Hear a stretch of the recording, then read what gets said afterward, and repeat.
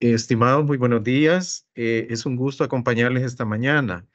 Antes de comenzar el webinar, quisiéramos darles eh, un anuncio, ¿verdad? Eh, respecto a las empresas. Si su empresa necesita apoyo técnico o económico, la Dirección de Innovación y Competitividad del Ministerio de Economía, con el objetivo de brindar herramientas a través de sus programas o proyectos, les hace una atenta invitación a registrarse en el siguiente enlace que les compartiremos a través del chat para conocer el perfil de su empresa.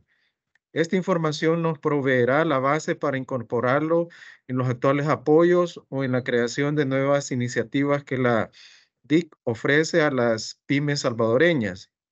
Agradecemos su confianza y disponibilidad de compartirnos su información, la cual es confidencial y será utilizada con los fines antes mencionados.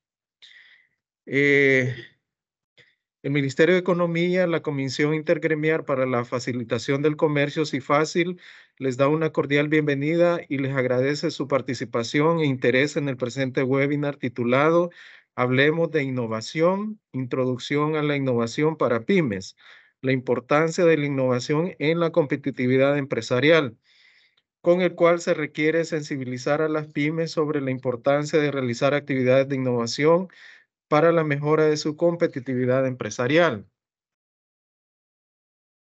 Este webinar es parte de una formación en línea que se ha preparado en el marco del Comité Nacional de Facilitación del Comercio, el cual busca apoyar a los empresarios con, con información desde las instituciones que faciliten el comercio, ampliando los conocimientos para los usuarios en los temas de, eh, que pueden ser de potencial. Eh, apreciables participantes, si tienen preguntas acerca del tema a ser abordado durante la ponencia, hemos habilitado un espacio para ello. Al final, eh, al final la evaluación, por lo que les agradeceremos puedan utilizar el chat y con mucho gusto les daremos respuesta a sus consultas posteriormente. Asimismo, les solicitamos su apoyo realizando la evaluación luego de la ponencia a través del enlace que les será publicado en el chat. Contarán con cinco minutos para realizarla. Posteriormente tendremos un espacio para preguntas y respuestas. Eh, sin más preámbulo, tendremos a continuación la participación del ingeniero Juan Diego Portillo.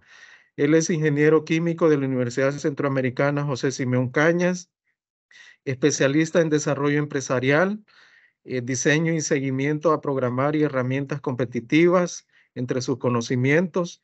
Eh, de fomento a la innovación, emprendimiento y propiedad intelectual. Ha diseñado y ejecutado programas de capacitación sectoriales y articular el sector privado con entidades financieras de apoyo a la innovación para la generación y ejecución de proyectos. Eh, entonces, en este momento le cedemos la palabra al ingeniero Juan Diego para que pueda desarrollar la, la ponencia. Adelante, ingeniero. Muy buenos días a todos y todas. Y bienvenidos a este espacio que hemos denominado Hablemos de Innovación, que es nuestra segunda sesión. por el momento solo he hablado yo, pero les prometo que es algo que va a cambiar. Tenemos planeadas intervenciones de personas eh, que representan al ecosistema de innovación del país, ¿verdad? Para que puedan también tener eh, otros puntos de vista, otras experiencias y puedan enriquecer así el conocimiento en el tema de innovación. En nuestra primera sesión hicimos una como breve aproximación a uno de los grandes retos que tenemos a la hora de innovar, que es la definición que es innovación. Y aunque de alguna manera todos tenemos como ese, em, esa primera impresión o, esa primera definición, lo importante del proceso em, es que nos podamos poner todos de acuerdo y así cuando hablemos de innovación, todos tenemos un marco de referencia claro. Más allá de eso, ¿verdad? También en, este, en esta sesión vamos a continuar y expandir un poco de, esclarecer esto, de definir la innovación. El tema que teníamos para el webinar Em, es modelos de innovación, pero ya vamos a ver que le hemos dado un giro y vamos a regresar al tema principal de modelos de innovación eh, en una sesión posterior y les voy a explicar por qué justamente, ¿verdad? Eh, les enviamos la ayuda em, o la presentación por correo a todas las personas que se habían registrado de la sesión 1. Haremos lo mismo con eh, la presentación en esta sesión 2, así como el par de herramientas de las que vamos a hablar el día de hoy. Entonces, sin más preámbulos, pasamos a ver los temas.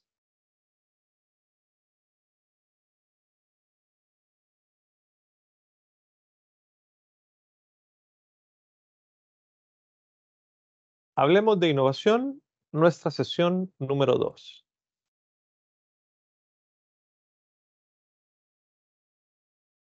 Este no es un QR, parece, pero no es un QR. Es algo que, el QR ha hecho una reaparición. Ahora eh, ya tiene bastante de haber sido inventado, pero, ha hecho una reaparición en todos nuestros medios. Pero en, esta, en esta ocasión no es un QR. Algunos de ustedes ya lo habrán reconocido y para algunos de ustedes es nuevo. Créanlo o no, este pequeño dibujo aparecía antes que tuviéramos em, tanto acceso a información y que hubiera internet en los periódicos o en los diarios en la parte que era como para mm, entretenimiento. Y es un laberinto. Entonces, la mayoría cuando se aproximaba en el tiempo libre llenar estos laberintos, había claramente una entrada. Con un poco de experiencia y con un poco de, ingenio, aprendimos que la forma más fácil, real, de ingresar o de solventar el laberinto era irse de atrás de la salida para adelante. Es como un pequeño truquito, es, es simple y sencillamente una reingeniería de un proceso, ¿verdad? Que em, facilitaba realmente y siempre nos llegaba a la respuesta correcta. Y más o menos eso es lo que tenemos planeado en la jornada de ahora, hacer uso o, revisar algunas de las herramientas que utilizan modelos de innovación antes de ver cuáles son los modelos. Y esto hay un motivo importante para, para, para esto. Justamente es como hacer este pequeño truco de reingeniería de proceso. Continuando con lo que hablábamos en la sesión anterior, es bien importante implementar actividades de exploración. Y las actividades de exploración es ir a ver qué pasa, qué, están haciendo en temas de innovación, qué pasa en otros lados, mantener una, eh, constante búsqueda de, información para estar al tanto y poder reaccionar, poder ver qué hay de cosas interesantes. Y les comparto otro vínculo, ¿verdad? En la sesión anterior les compartí dos, este es el tercero, eh, para que continúen sus esfuerzos de explorar. La página web es mjv y este, como van a ver, tiene la, opción de que lo cambien a español, ¿verdad? Eh, ahí en la banderita, em, junto a la lupa, van a ver y pueden poner la bandera de España, con lo cual el sitio web es súper amigable y em, lo pueden ver en español. Estos sitios web que les estoy compartiendo, la mayoría le van a pedir que acepte ingresar a, una lista de distribución, por lo que yo les recomiendo que desde sus empresas creen una, una mm, dirección o, una dirección electrónica, un correo electrónico específico para innovación y, y que sea el que inscriban en todos estos newsletters, en todas estas cosas, para que no eh, se le llene la bandeja de sus correos institucionales y personales, ¿verdad? creen uno específico, ¿verdad? Para innovación, ahí puede ser cualquiera, y ahí aceptan eh, todos los términos y, se inscriben a todas, las, a todas las ponencias, a todos los newsletters, a todos los envíos de correo, y les va a facilitar un montón, ¿verdad? Porque la mayoría de, de sitios, ¿verdad? Les piden que se inscriban o que se, o que se registren para poder luego hacer descarga de los recursos que ponen gratuitamente. En este, en este sitio, por ejemplo, eh, hay, hacen muchas eh, publicaciones sobre tendencias de innovación eh, yo me vine aquí nada más a la biblioteca y eh, fui a dar con la descarga gratuita de este manual para uno de los, de los modelos de innovación, ¿verdad? Que es Design Thinking y está, está libre a descarga, nada más hay que registrarse, ¿verdad? Em, asimismo, los invito a hacer una búsqueda en, en sus eh, buscadores, valga la redundancia, de un manual que fue producido como un toolkit para la innovación. Creo que si, si lo hacen la búsqueda en, en, Google, por ejemplo, o en Yahoo y, y, ponen, em, fue una iniciativa bien interesante que hizo USAID, ¿verdad? Entonces, si buscan USAID más Design Thinking, eh, hay le va a aparecer libre para descarga un vínculo que se llama Toolkit. Y ese se desarrolló para El Salvador, es bien interesante. Es parecido a esto, es, un, es, es una guía sobre herramientas de innovación y está libre de descarga, ¿verdad? Aquí, como ven, eh, expandí el menú de la biblioteca, ¿verdad? Y ahí ven todas las opciones que hay. tienen para libre, para libre descarga libros, eh, libros digitales, una guía, infografías, reportes, etcétera, etcétera, etcétera. Entonces, les comparto esto para que sigan explorando. Y el otro sitio del que sí les también les, les recomiendo, ¿verdad? Eh, es www.innovationleader.com para que lo vayan a revisar. Igual les va a pedir que hagan algún tipo de registro, ¿verdad? Pero en reportes, este existe en inglés, nos toca hacer tal vez un poco de más eh, trabajo para llevarlo al español, ¿verdad? Lo van a tener que descargar y luego buscar algún sitio donde les permita hacer la traducción de, los documentos. Y bueno, se puede, pero es un poco más trabajoso.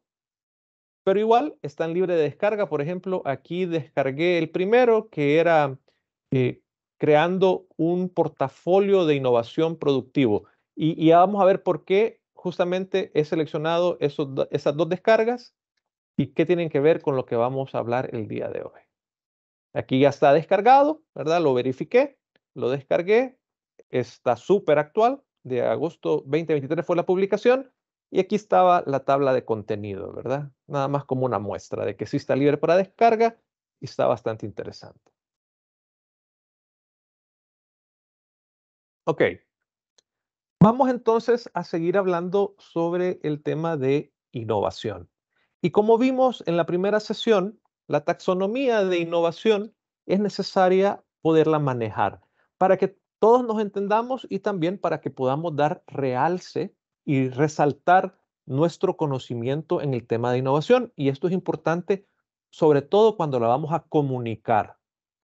Cuando vamos a comunicar y vamos a, a presentar nuestro proyecto ya sea ante fondos, ante incluso la gerencia, entre más nosotros podemos expresar claramente de qué se trata nuestra innovación, mejor va a ser o más fácil va a ser entendida por las personas que queremos que nos apoyen. Y esto es importante. Entonces, vamos a retomar la taxonomía de la innovación por objeto.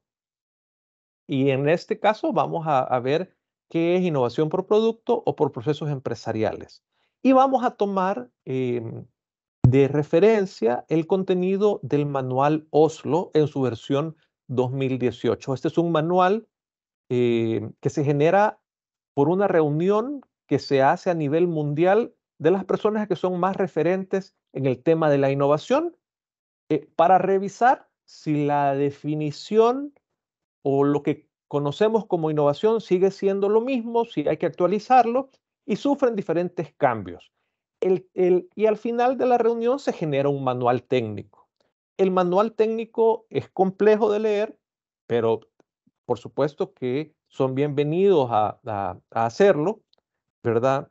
Y eh, habla de cómo medir la innovación y va siendo eh, diferentes capítulos, súper interesante, es, es, es, bien técnico, pero súper interesante, pero nos regala en el capítulo 3 toda una sección de definiciones sencillas y de ahí hemos retomado como para que nos podamos poner de acuerdo. Em, También en la, en la sesión anterior hablábamos un poco de la importancia de la innovación. Y el tema que queremos ver ahora es si estamos listos para innovar. Y listos para innovar, habría que hacer dos diferentes análisis. Uno es de si la innovación es pertinente para nuestra empresa. Y dos, si nuestra empresa está lista para innovar. Entonces, son dos análisis, ¿verdad? Eh, necesarios o recomendados como para que tengamos una idea. ¿Por qué? Porque la innovación eh, implica riesgo. Y entonces, para reducir el riesgo lo más que se pueda, eh, el análisis es necesario. Todas estas, todas estas herramientas que compartimos con ustedes, el, uso de las herramientas o las herramientas en sí van a depender de dos grandes cosas. Uno, si estoy utilizando la herramienta correcta para el análisis correcto. Y dos, la información que yo ingreso eh, a las herramientas. ¿Verdad? Es por eso que eh, invitamos a que cuando sean temas de innovación, siempre puedan contrastar los resultados de las herramientas con la experiencia de la empresa, con la realidad, como para que vean si, si eh, sienten que se apega a la realidad. Si no es el caso, puede ser que la herramienta no sea la adecuada o que la información que ingresamos eh, necesita revisión. Entonces, siempre hagan, hagan, hagan el ejercicio de eh, revisar que las herramientas, que el resultado, que el análisis sea congruente tanto con su experiencia como la realidad de su empresa.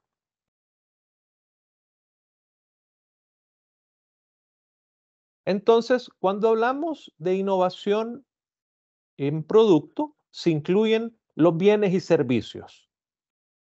Y vamos a ponerle como tres ingredientes. Primero, en la definición dice que va a ser un bien o servicio nuevo o mejorado. Esto es importante porque si es nuevo, tenemos que ver el grado de novedad y si es mejorado, mejorado en qué. Eso quiere decir que para que nosotros podamos em, justificar que hay una mejora, yo tengo que tener una medición anterior o previa o una línea base de qué es lo que quiero mejorar o qué es lo que estoy mejorando.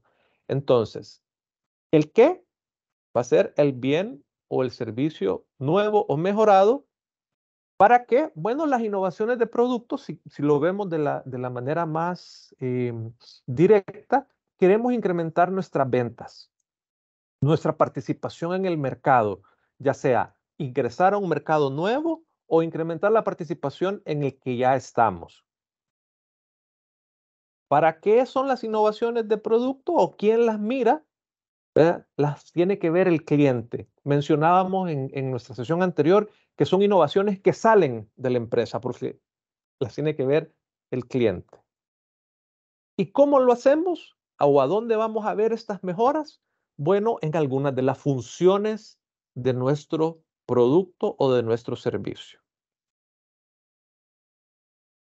Encontramos en el manual de Oslo que hace una, una recomendación de funciones relevantes.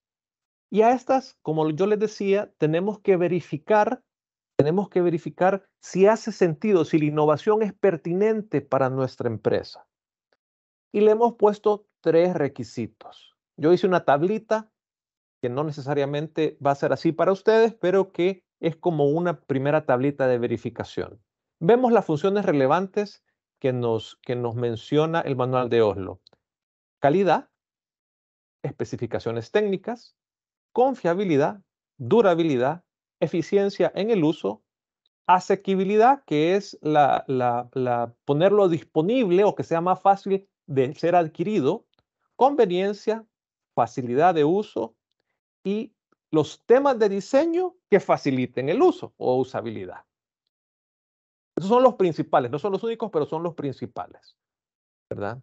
Entonces, primero tenemos que verificar si hacer una innovación y cambiar o mejorar esta función está en línea con nuestra estrategia competitiva. ¿Por qué? Bueno, eh, por ejemplo, si yo soy una empresa que está compitiendo y mi estrategia competitiva es competir por precio, yo tengo claro que mi mercado va a ser susceptible al cambio de precio y yo estoy compitiendo por precio.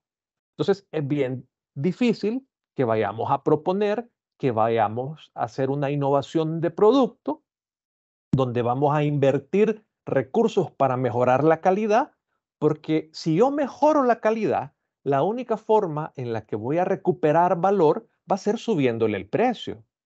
¿Sí? Pero si le subo el precio, estoy entonces ya no compitiendo o estoy yendo contra mi estrategia competitiva de ser el más barato. ¿Verdad? Diferente es si mi estrategia eh, competitiva es, por ejemplo, diferenciación.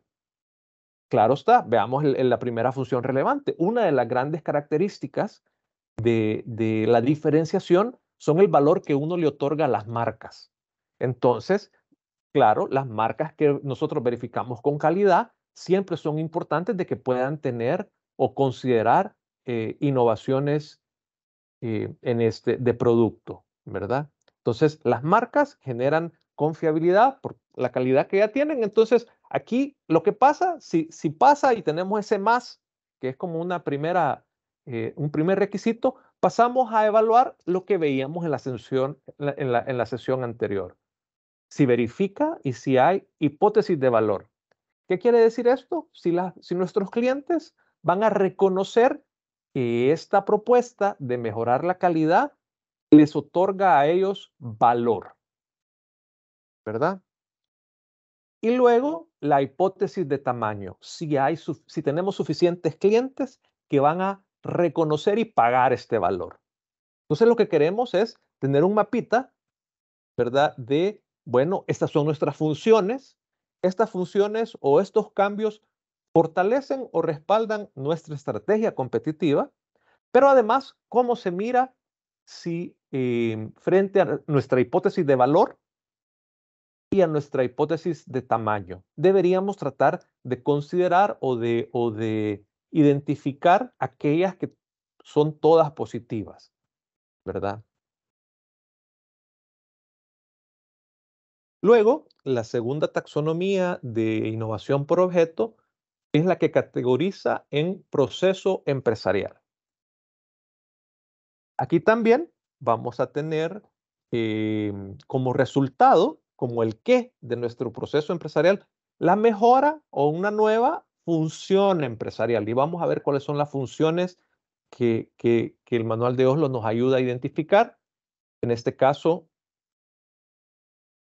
estamos buscando el ahorro o la eficiencia de nuestros recursos, ¿verdad? Estas innovaciones, a diferencia de las innovaciones de producto, usualmente son internas, son para la empresa, ¿verdad? Usualmente los clientes no las perciben.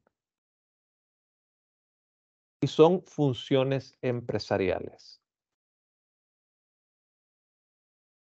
En este caso, tenemos o hay una división entre dos procesos empresariales. El principal, que es el proceso productivo. Y luego están aquellas que son funciones de soporte, donde entra la distribución y logística, información y comunicación, temas de administración, desarrollo de prototipos o nuevos productos y mercadeo y ventas. Mercadeo y ventas, si se dan cuenta, lo he puesto en azul, como puse las innovaciones de producto y vamos a ver por qué. Es, una cosa interesante. En temas de procesos de producción, las innovaciones o los cambios pueden ser en cualquiera de los, de los dos actividades principales o fases principales. En la entrada, donde tenemos insumos, materias primas que pueden ser nuevos o mejorados, la adopción de un nuevo estándar de producción, entonces habrán cambios necesarios, o la entrada de alguna nueva herramienta. En el proceso de transformación, También puede ser que tengamos un nuevo o mejorado método de producción. Entonces habrán nuevas prácticas, nuevos pasos o también nueva tecnología. Y tecnología la vamos a entender como maquinaria y equipo, pero también como cualquier herramienta que nos facilita hacer un proceso de transformación. ¿Y qué es lo que queremos tener al final? Bueno, una reducción de los costos de producción o un ahorro, o también puede ser que obtengamos eh, una producción que sea más rápida y, obtenemos tiempo, mejoramos nuestros tiempos. Ahora, es importante, es importante que consideremos la tablita que veíamos anteriormente de cuáles son los beneficios de innovar y si tiene sentido innovar, si la innovación es pertinente. Por ejemplo, mejorar un tiempo de producción siempre es un, un reto y, y, siempre se mejora con temas de tecnología. Pero la pregunta que yo haría antes de que, de que ingresemos a ver el tema de, de, mejorar nuestros tiempos es lo que una empresa que, em, eh, que inicia un proceso de innovación en producción y quiere reducir sus tiempos, quiere decir que es muy hábil para vender, ¿verdad? Porque lo que tiene o lo que le da pie a esta innovación es que tiene un montón de órdenes que no ha podido cumplir. Entonces, su, problema o su situación en particular es que es súper buena vendiendo, pero ahora tiene que mejorar el tiempo en el que produce, ¿verdad?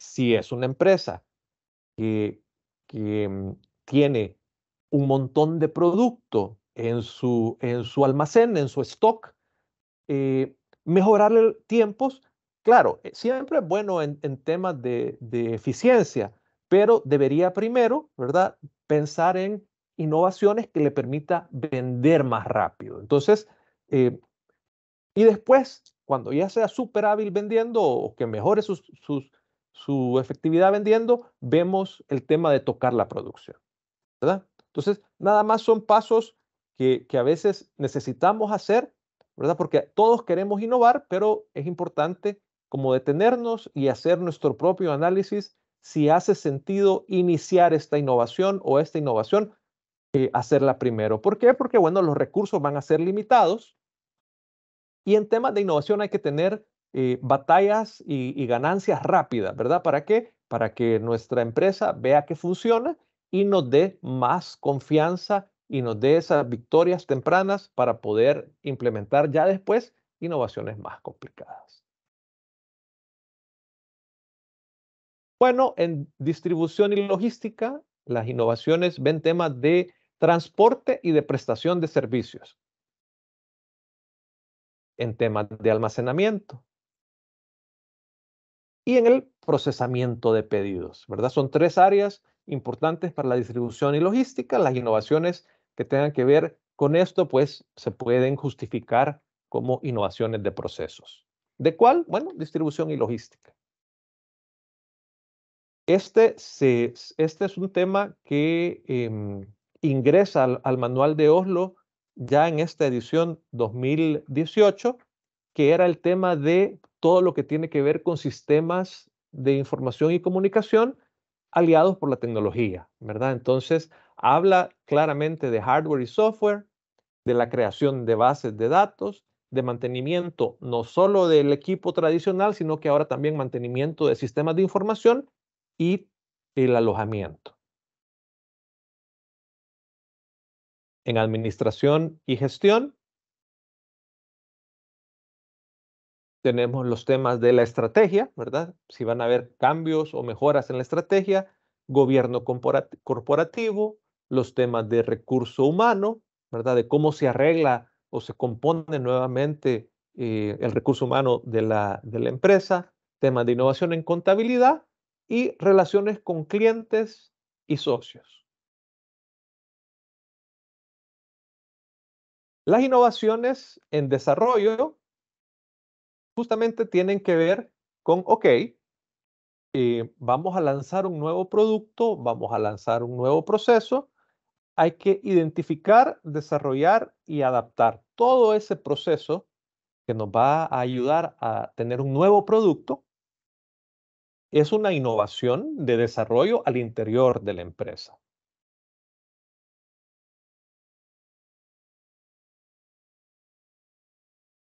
Y bueno, esta que, que en la edición anterior del manual de Oslo, que creo que era 2013, si no me equivoco, creo que sí, 2013, marketing y ventas más o menos la habían dejado como una categoría en sí misma, se llamaban innovaciones en métodos de comercialización. Ahora están supeditadas o las han incluido en las de procesos empresariales. Sin embargo, sin embargo, yo sí diría que em, los métodos de comercialización, las innovaciones en métodos de comercialización siguen impactando en el tema de ventas. ¿sí? Busco incrementar mis ventas. Entonces, eh, sí la, pongo en azul todavía porque eh, difiere un poco de las que hemos venido viendo anteriormente, que son para mejoras internas de la empresa.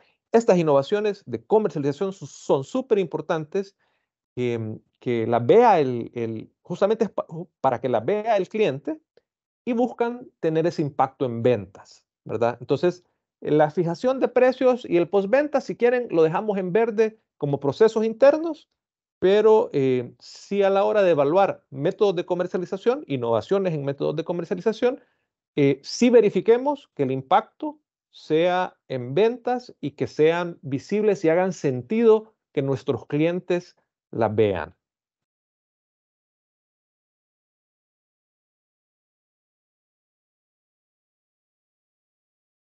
Bueno, entonces hemos em, visto como una parte de, del, recorrido que queríamos hacer, que era verificar si la innovación, si lo que yo quiero innovar, si en lo que yo me quiero eh, concentrar o desarrollar es pertinente para mi empresa, ¿verdad? Es, como una primera revisión. Y la otra que hablábamos, que era una un segundo análisis, es qué tan lista está mi empresa para innovar. Fíjense que yo fui a dar con, un, con una em, propuesta de autodiagnóstico para pymes y era pre-innovación.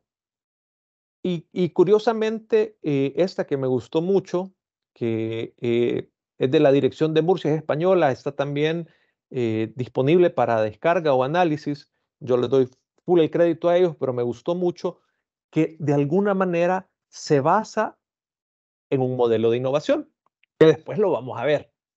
¿Sí? Entonces, por eso les, les decía que aquí vamos a hacer una reingeniería. Vamos a ver la herramienta, que es ahorita este autodiagnóstico, y después vamos a ver de dónde viene, ¿verdad? Y entonces tiene dos, dos, em, dos grandes categorías que habla de la cultura de la innovación y la gestión del conocimiento, que son las dos barras que están arriba. El modelo, si se dan cuenta, pareciera que es jalado por el mercado y, y, vamos a hacer referencia en la sesión que hablemos de modelos de innovación que es alado por el mercado o jalado por el mercado. Porque vemos que es el que, como que las flechitas nos llevan hacia allá. Y luego en medio tenemos la generación de conceptos, el desarrollo de productos, los procesos productivos y los procesos de comercialización. Este, este, este autodiagnóstico eh, justamente utiliza esos seis pilares, los dos de arriba, cultura y gestión de conocimiento, y los de en medio, como para hacer un mapa de cómo está nuestra empresa. Yo les voy a compartir a partir de este, de este modelo. Es una serie y es bien sencilla de hacer. Son 30 afirmaciones. Estas 30 afirmaciones em, se califican o se les ubica un número, una valoración del 1 al 7. Y la afirmación, ustedes van 1, que es absolutamente falso, 2, falso, casi nunca, un 4 a veces, sí, a veces no, que es más o menos 50%, casi siempre cierto o muy cierto. Eh, yo hubiera utilizado una escala del 1 al 10, pero la, herramienta que, diseñaron está del 1 al 7 y como la estoy adaptando, y les estoy dando totalmente el crédito a ellos, eh, quiero ver cómo se mira, ¿verdad? Antes de tocarle la, la, la escala, ¿verdad? Y nos da un resultado del 1 al 7 sobre la cultura, la gestión del conocimiento, cómo hacemos con nuevos conceptos, eh, cómo estamos para los nuevos productos, cómo, van, cómo estamos para la generación de nuevos procesos, ¿verdad? Y establece el 7, que es el, puntaje más elevado, como estar entre 6 y 7 es ideal, estar entre 4, perdón, entre 3 y 6 es estar a un nivel intermedio y entre 1 y 3 es un nivel bajo. Esto nos ayuda también como para saber, bueno, nuestra empresa está lista o no para innovar. Entonces, em, está en español, se la voy a compartir. Yo hice un, Excel modesto y que eh, todavía mis competencias en Excel no me dan para que la respuesta sea automática, entonces ustedes me lo van a enviar a mí completo y yo les voy a dar la interpretación de, de por lo menos estos em, seis pilares, ¿verdad? ¿Cómo está la empresa? ¿Cómo se ve? Y luego ustedes evalúan y, determinan, eh, por ejemplo, ustedes van a saber cuando salga su resultado de marketing, qué tan listos están o si necesitan refuerzos, ¿verdad? Como para que tengan una idea de las siguientes acciones. Las recomendaciones, por supuesto, van a estar incluidas en la respuesta que les vamos a enviar. Entonces, ustedes lo van a recibir a través de correo electrónico y eh, lo van a completar. También me va a ayudar a mí la retroalimentación, cuando veamos los resultados y tengamos las recomendaciones, ustedes me van a decir, Juan Diego, eh, me parece que la herramienta eh, refleja claramente el perfil de mi empresa y me es útil las recomendaciones, porque estamos diseñando una herramienta propia, pero vamos a tomar algunas de las ideas que ya están planteadas como prestadas para ver cuál se apega más y cuál es más útil. Porque en el tema de diagnósticos de innovación, miren, yo he visto una gran cantidad que se pueden complicar muchísimo, pero la importancia es que la, retroalimentación del resultado que dan realmente, uno, sea útil y dos, nos permita a nosotros como Ministerio de Economía acompañarlos a dar los siguientes pasos. Asimismo, eh, les voy a compartir otra herramienta Em, que es, bien interesante. Este es libre de uso y, la ponen a, a, disposición del público. Ahí está la página web para descarga eh, el panfleto con, con el modelo, ¿verdad? Y se llama Innovation Readiness Level. Esta está en inglés. La estoy eh, traduciendo y, también la estoy aclimatando, ¿verdad? Pero mide, mide, esto es ya cuando ustedes han pasado a la, mm, a la fase de tener varias ideas, varias ideas en las que pueden innovar, esta es una herramienta que les puede ayudar a evaluar idea por idea y las, y las evalúa en el nivel de preparación de cliente, tecnología, modelo de negocios, propiedad intelectual, el equipo adentro de la empresa y el tema de financiamiento. Entonces, una es para ver cómo está la empresa, en qué la puedo reforzar y esta es una herramienta que evalúa idea por idea, como para que tengamos claro eh, en cuál estamos más listos. Entonces, una me ayuda para reforzar mi empresa y este resultado debería indicarme cuál de las innovaciones tiene un mejor nivel o está más lista para, para em, salir al mercado o para, o para invertir en ella. Nuevamente, lo que les dije en el principio sigue aplicando. Tenemos que corroborar que lo que nos dice la herramienta sea congruente con nuestra experiencia y eh, con lo que conocemos. La innovación y esto es importante que, que, ese, que ese ejercicio sea consciente, porque la innovación nos pide que seamos creativos, que, que retemos los paradigmas, ¿verdad? Que, que hagamos cosas diferentes, lo cual es muy bien, ¿verdad? Pero siempre hay que em, hacer la comparación de si, si, si esas cosas distintas realmente apoyan el desarrollo de la empresa, cómo están con respecto al cliente y em, cómo integramos con lo que ya sabemos hacer esos cambios o esas mejoras. También este ya, ya es el, resultado de la gráfica que hice em, en el Excel que les va a llegar, les, les, van a llegar los dos, ¿verdad? Y entonces aquí sí hice la, la, la mm, escala del 0 al 10. Aquí están los, los niveles que evalúa, ¿verdad? Y aquí teníamos idea 1, idea 2, idea 3.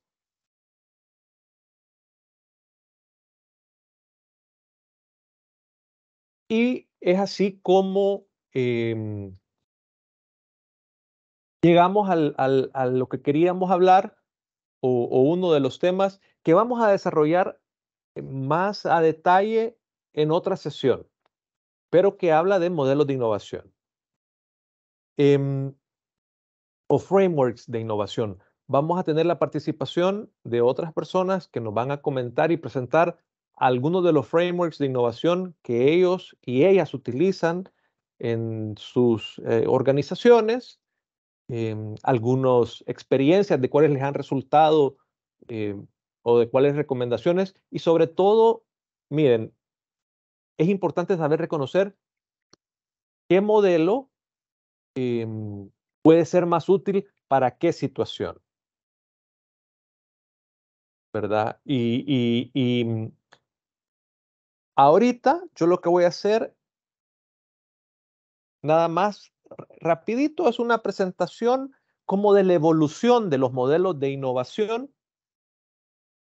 y, mm, vamos a dejar en el último modelo, realmente es el que ha dado paso a la generación de los que actualmente se utilizan con más frecuencia.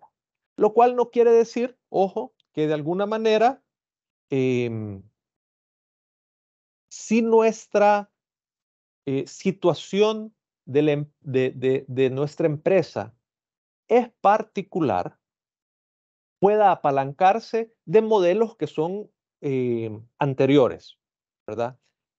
Estos modelos han ido evolucionando y, nacen en, por ejemplo, y, es una cosa que, se le hace también una crítica, creo que válida a un montón de herramientas en marketing y, y otros conceptos que nacen en un momento en el que había una mayor demanda de productos y servicios que oferta de empresas que habían. Y, en el último tiempo, en los últimos, ¿qué será? 30, 40 años, se ha dado una pequeña reversión en que ahora hay una sobreoferta, ¿verdad? Entonces, hay que adecuar y hay que analizar nuestros modelos a ver si estamos, en qué tipo de mercado estamos si tenemos la oportunidad de ser líderes y no hay nadie que nos esté copiando o, la copias o, aquellas personas con las que estamos compitiendo o empresas o productos con los que estamos compitiendo están todavía muy atrás y nosotros estamos súper adelantes, entonces por ahí, más o menos, más o menos, podríamos decir para nuestra empresa o para nuestro sector que estamos en alguno de estas em, situaciones en las que todavía la demanda supera la oferta.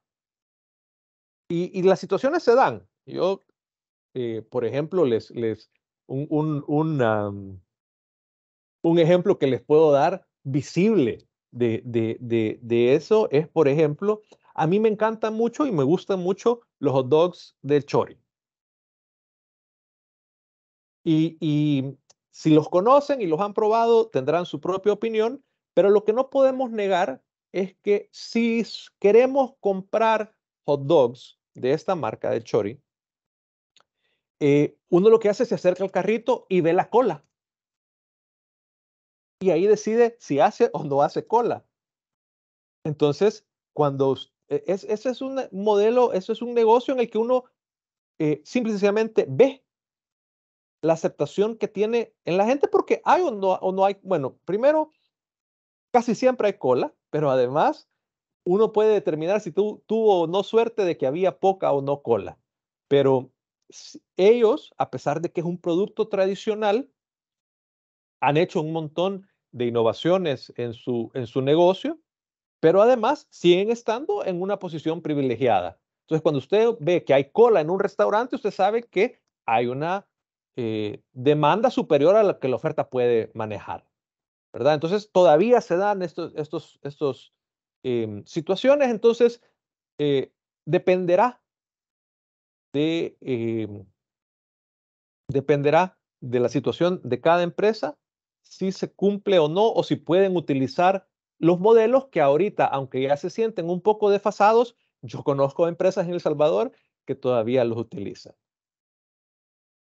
Entonces, la, evolución de los modelos em, van desde los que se consideran empujados por la tecnología, al lado por el mercado. Ven, aquí hace una aparición, si no me equivoco, creo que es en los 70, entre 70 y 80, en la década de los 70 y 80, el alado por el mercado y sin embargo la, la mm, herramienta que vamos a utilizar para evaluar em, qué tan listo está nuestra empresa para innovar, utiliza justamente el modelo de alado por el mercado para, para verificar.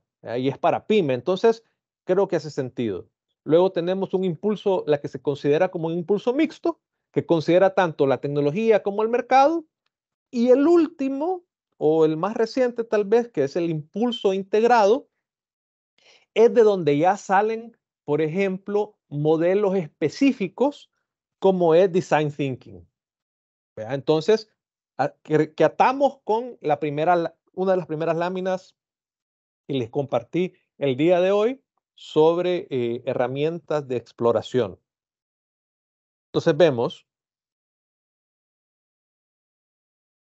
que los empujados por la tecnología, eh, tal vez es uno de los primeros modelos de innovación donde se realiza una investigación básica, luego investigación aplicada, desarrollo, producción, comercialización, hasta que llegan al mercado. Esto, de alguna manera, todavía se hace. Lo que pasa es que no todas las empresas hacen investigación básica. De repente, por ejemplo, nuestras instituciones de educación superior todavía hacen investigación básica. En, en, algunos casos. Entonces, lo, lo, que ha ido cambiando o mejorando de este sistema es que ya aquí se veía que eran cajas o paso por paso, ¿verdad? Que se iban haciendo y no se llegaba hasta la comercialización hasta que ya se había producido y desarrollado. Entonces, eso, el problema que nos resulta es que tenemos ya un producto terminado, pero no tenemos generado el mercado. Por eso, más o menos, eh, bueno, un ejemplo de los más comunes, y, no quería como extralimitarme mucho, fue el descubrimiento del teflón, ¿verdad? Cuando, cuando se descubrió el, el, el, politetrafluoruro etileno, no se estaba haciendo una investigación específica para un recubrimiento que quitara lo resbaloso, ¿verdad? O que, o que eh, ayudaran a los textiles a repeler la suciedad o la mancha, sino que se estaba haciendo una, una mm, investigación con gases relacionados con refrigerantes, ¿verdad? Y de pura chiripa se, se, se descubrió que había uno que se había, una muestra se había congelado y polimerizado, ¿verdad? Eh, y así se descubrió justamente em, el politetrafluoroetileno, que ahora lo conocemos como teflón. Entonces, esto sí ya fue hace bastante tiempo, no recuerdo, ahí les puse el, el, el, vínculo de donde saqué la referencia. Creo que ellos mencionaban el, año en el que se, se mm, descubrió el teflón y después los usos que tiene, pero en todo caso, si se utilizó, todavía tiene alguna relevancia si estamos haciendo o estamos en el, en el tema de hacer investigaciones básicas. Luego tenemos el modelo de estiradas o aladas o desencadenadas por el mercado, donde primero vamos a determinar las necesidades del mercado, después hacemos la investigación es igualito al anterior, solo que el ingreso o la, o la pregunta que tenemos o el, inicio tiene que ver con las necesidades del mercado, ¿verdad? Todavía esta fase eh, es de investigación larga y es como hasta que no tenemos el resultado de la investigación básica, no pasamos a la aplicada, no pasamos al desarrollo, no pasamos a la producción. Claro, llegamos a la comercialización en el mercado de manera más fácil en la medida en la que se han identificado las necesidades del mercado. ¿Verdad?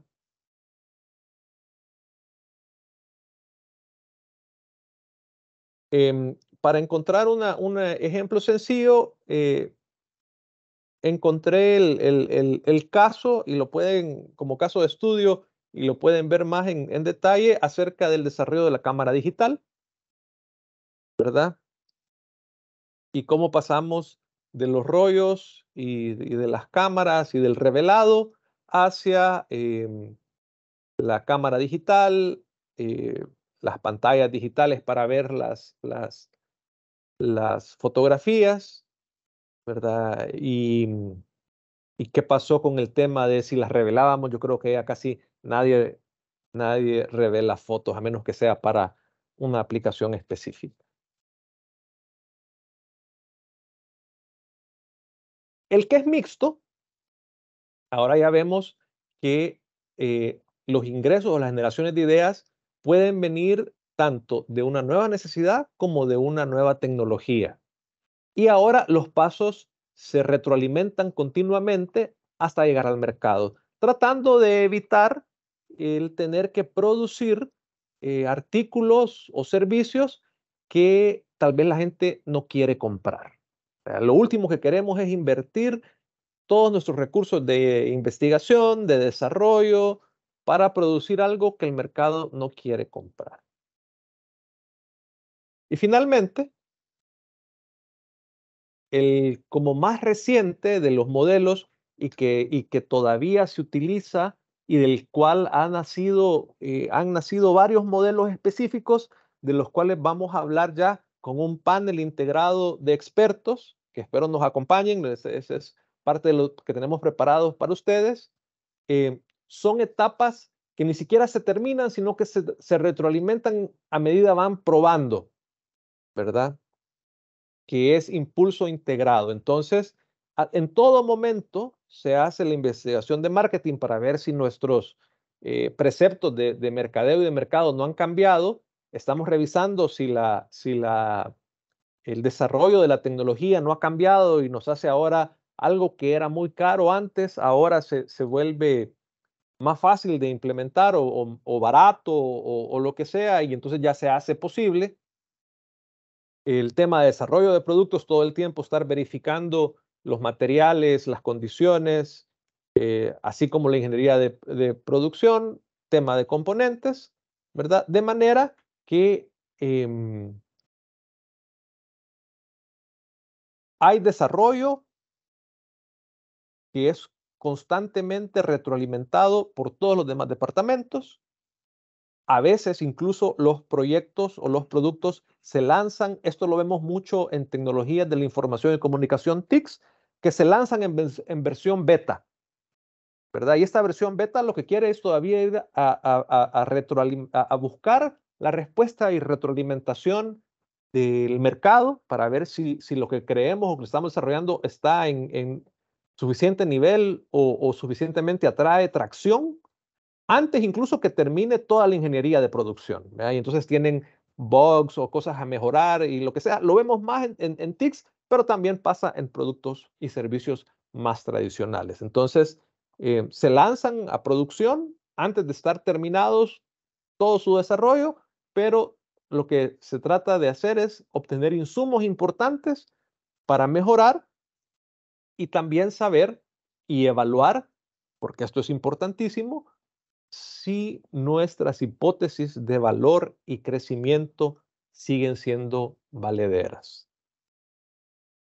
De aquí salen eh, ya, como les mencionaba, modelos específicos, como es em, Design Thinking. Design Thinking, por ejemplo, es un modelo muy fácil de usar, pero que presupone que tenemos algún, algún requisito inicial de un producto o servicio que vamos a mejorar. Entonces, ya hay, presupone que la, que la empresa ya verificó o ya tiene un indicio claro de que hay una demanda por este bien o servicio, ¿verdad? Entonces, se utiliza o se puede utilizar, tiene un montón de beneficios cuando tengo ya un punto de partida bastante claro y ya sé y he evaluado que cuando llegue la producción, eh, clientes voy a tener. Si, si hay toda una ruta de aquellos que, que hacen design thinking, saben que hay toda una secuencia para verificar si lo que estamos produciendo el cliente lo acepta o no lo acepta. Pero ya hay un, un, un, un, indicio de que va a haber un cliente o de, o de quién es el cliente. Y se hacen mejoras y se retroalimenta, pero no es como que cuando uno usa Design Thinking ya ha pasado un montón de filtros, ¿verdad? Diferente y se vuelve complicado y a veces tedioso tratar de utilizar Design Thinking cuando no sé en qué voy a innovar o, qué quiero promover o qué es lo que voy a, o qué, o qué es lo que quiere el cliente. O por ejemplo, si lo que tengo son problemas en mi proceso de producción.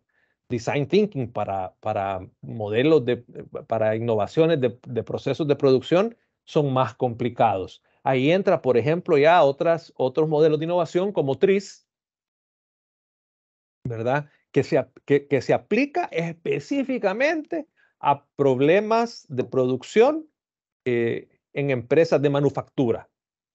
¿verdad? Entonces, para cada situación hay una herramienta. El resultado de la herramienta depende de dos cosas. Qué tan buena es la información que entra y dos, si la herramienta, ¿verdad? A la hora de decidir y seleccionar, si la herramienta hace sentido para nuestro caso. Entonces, em, hasta aquí vamos a llegar el día de hoy, cabalito, las 10.03. Em, con nuestra segunda sesión de Hablemos de Innovación, listos para innovar. Lo de modelo de negocios, como les digo, vamos a dejar eh, un espacio, lo vamos a dejar para después, lo vamos a invitar, por supuesto, para que, tengan, para que tengamos más intervención de otros expertos y veamos en detalle en qué consisten ya estos que estamos hablando como modelos específicos de innovación y nos comenten no solo eh, de qué se tratan, sino también em, experiencias que hayan tenido con ellos y en qué situación, para que tengamos y podamos anotarlo, ellos lo recomiendan y para qué situación no tanto. Así también van a conocer, si no lo han hecho, probablemente sí, y, tendremos entre el público alguno de, de, estas personas que trabajan en instituciones que apoyan, que, están, que son parte del ecosistema de innovación del país para que también los conozcan. Si no lo han hecho, los conozcan y sepan qué están haciendo y eh, así podamos también todos tener eh, claro y eh, mejorar nuestra red de aliados y de conocimientos. les vamos a enviar las, las herramientas por correo electrónico, ¿verdad? A los que tenemos registrados, junto con la presentación para que la puedan revisar más a detalle. Si nos devuelven las herramientas completas, eh, podemos, eh, yo lo que necesito o, que, quiero es que midamos si los resultados que lanza son acorde a las situaciones que ustedes han identificado. ¿Para qué? Para que juntos diseñemos una mejor herramienta que les ayude a innovar y a nosotros, del lado del ministerio, ¿verdad? Podamos darle el mejor soporte posible. Hasta aquí con la presentación del día de hoy. Gracias por acompañarnos. Vamos a pasar em, a las preguntas y respuestas, ¿verdad?